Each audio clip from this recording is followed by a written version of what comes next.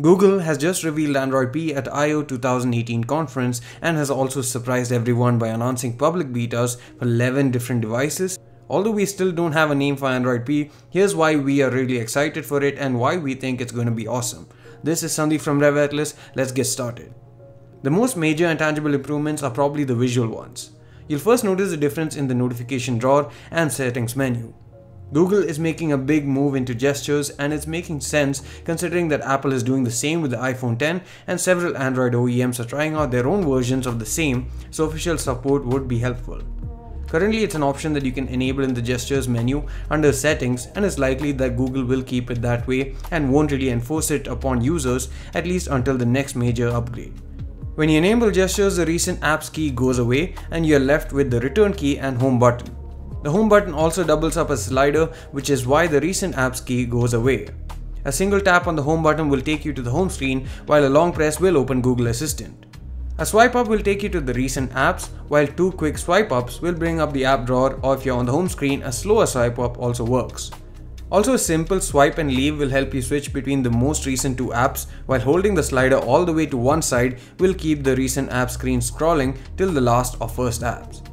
Speaking of which, the multitasking view is now horizontally laid out instead of vertical and you can swipe any of the app previews up to close it. The app drawer also has some changes, especially the two shortcuts that show you your most used actions. Like it or not, manufacturers are proceeding with notches on smartphones and Android P has support for it by default. Developers can simulate on-screen notches in three different fashions. One being your regular notch like you find on several devices such as the Huawei P20 Pro, the second being the dual notch which is likely to come soon considering makers such as ZTE are already showcasing concepts like the Iceberg with dual notches. There's even an option for corner notch as some of you may have seen in leaks of the Mi Mix 2S smartphone. Although the Mi Mix 2S eventually didn't have a corner notch or a notch at all, other manufacturers may adopt this fashion to reduce bezels and offer a more unique look. Current smartphones with a notch and running even Android Oreo often have content getting covered up by the notch or portions being rendered inaccessible due to the notch being present and the OS not supporting the notch. Now with native support, it allows the content to be wrapped around the notch and thus embracing it. The volume control panel has now been redesigned and is a vertical island that appears to the right side of the smartphone display. This includes a quick toggle for ring, vibrate and silent as well as a slider for the media volume. You'll need to press the settings icon to access the sliders for alarm and ring volume. Considering that phones are getting bigger and bigger screens, this will allow you to easily change the audio settings without two hands, especially on phones such as the Pixel with volume buttons on the right side. There's also a prevent ringing mode which essentially acts as a shortcut to toggle the vibrate mode when you press the volume up and power keys together.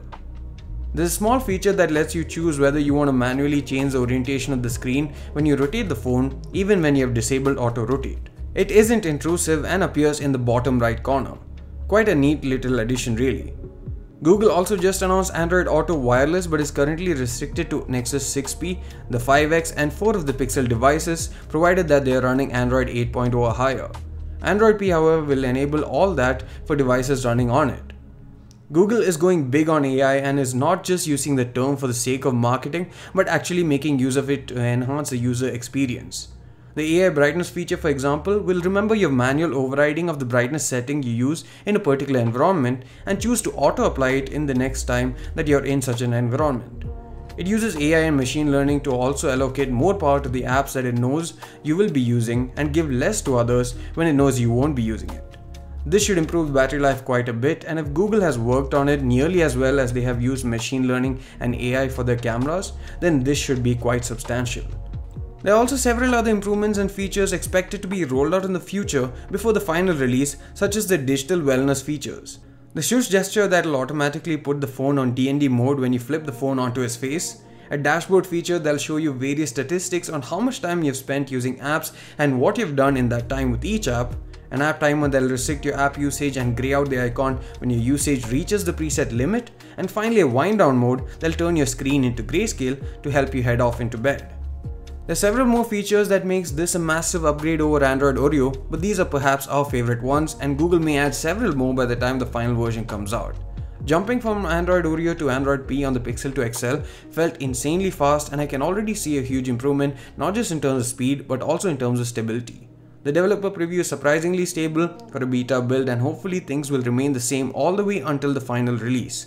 But one thing is for sure, Google seems to be more confident about Android than ever before and now have a clear direction towards which they're focusing all their efforts. Also releasing Android P as a beta not just to their Pixel first and second generation devices, but also to phones such as the Sony Xperia XZ2, Oppo R15 Pro, Nokia 7 Plus, Xiaomi Mi Mix 2S, Vivo X21, Essential Phone, and even the yet to be announced OnePlus 6 is only a sign of things to come. Thanks for watching, see you again in the next one.